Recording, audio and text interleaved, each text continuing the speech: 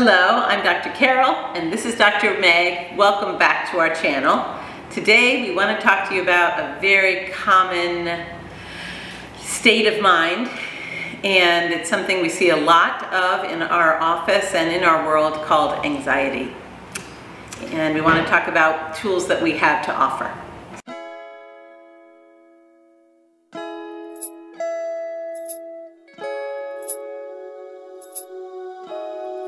It's a very, as Carol said, it's a very common experience and condition that people suffer from.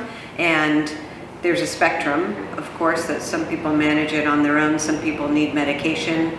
But it's a really common experience that I'm sure a lot of people you know, if not yourself, have suffered from. And there are a lot of ways of managing it that can be very useful without using medication or can at least help you decrease medication. We have found when we work with people just through the chiropractic piece and getting their nervous systems clear and getting their bodies more functional, then uh, oftentimes they're able to either get off their medication entirely or reduce it significantly. And that's a very, very common experience that people have.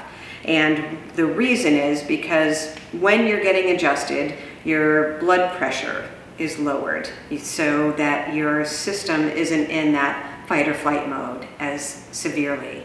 Your cortisol levels, which is cortisol is the hormone that gets released when you're in that sustained fight or flight place for longer periods of time. And it's a very damaging hormone chemical that gets released. And so cortisol gets diminished when you're getting adjusted regularly. Physically, we feel better in our bodies when we're getting adjusted. And so there's so many benefits to the chiropractic piece of working with people who suffer from anxiety. Each time a practice member comes to be adjusted, we come to the table where we work with them and observe what their life has been since we saw them last, or if it's the first time we're seeing them, to that point. And we look for signs of anxiety. So you might think like, what the heck, how do you know that? Some people think anxiety is in your brain only, but as Dr. Meg just said, it, it's throughout the system. It changes your entire body. Fight or flight has a type of posture. Like literally, you go into a different posture if you're going to be anxious than a posture of ease and grace after a yoga class or an experience of Reiki. So we get to observe you as you come in. The gift of having us as your facilitators of health and wellness is we get to know your system over time. But even if it's the first time we're seeing you, we've been trained to review your nervous system in terms of its adaptability. So we look for things like breath Breath is a really good indicator, and you know it. You've seen it yourself if you're a parent, um, if you have a significant other in your life, even in your own body.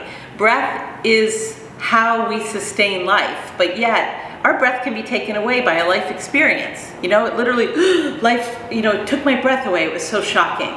Well, that kind of breath stays in the system for periods of time until the nervous system is able to integrate it or let it go. And so we watch those breaths. We watch the change in breath while you get adjusted. So we can actually see that you're anxious sometimes before you know you're anxious. So that's the beauty of a chiropractic adjustment and someone who facilitates chiropractic with you because we get to see your body over time release the anxiety that you've been building up and we allow your system to integrate it through the adjustment, which is so beautiful.